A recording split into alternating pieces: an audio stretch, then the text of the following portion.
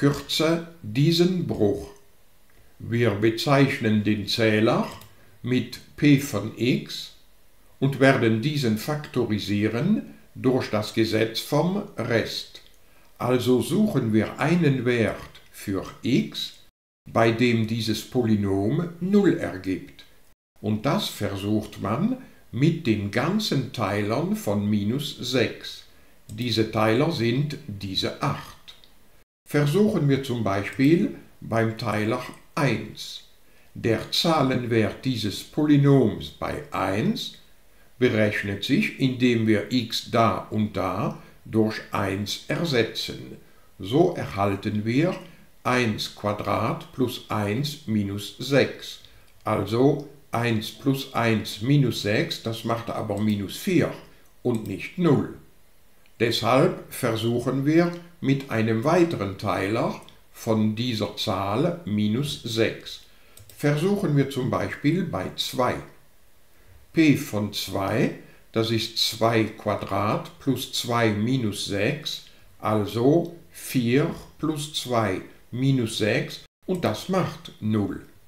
Demzufolge können wir dieses Polynom faktorisieren in die Form x minus diese 2 mal ein Binom ersten Grades.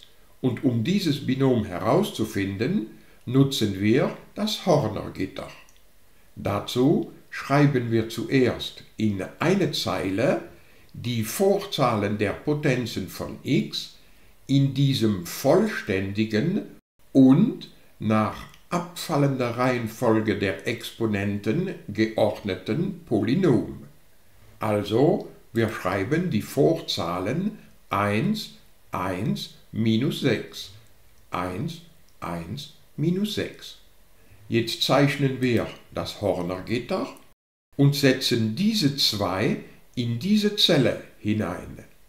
Diese 1 rutscht runter bis dorthin, so, von da nach da multiplizieren wir, also 2 mal 1, das macht 2, und diese 2 schreiben wir dahin, so, vertikal wird addiert, 1 plus 2, das macht 3, 2 mal 3 macht 6 und minus 6 plus 6, das macht 0.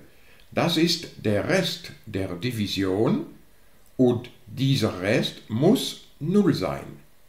Demzufolge wissen wir, dass 1 mal x plus 1 mal x minus 6 gleich ist zu x minus diese 2 mal 1 mal x plus 3, also x plus 3.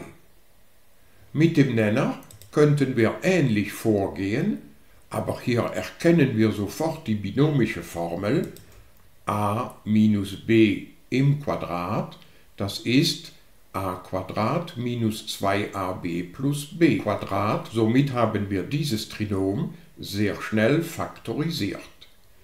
Unser Anfangsbruch kann also so umgeschrieben werden, der Zähler, das ist dieses Produkt, und der Nenner, das ist dieses Produkt.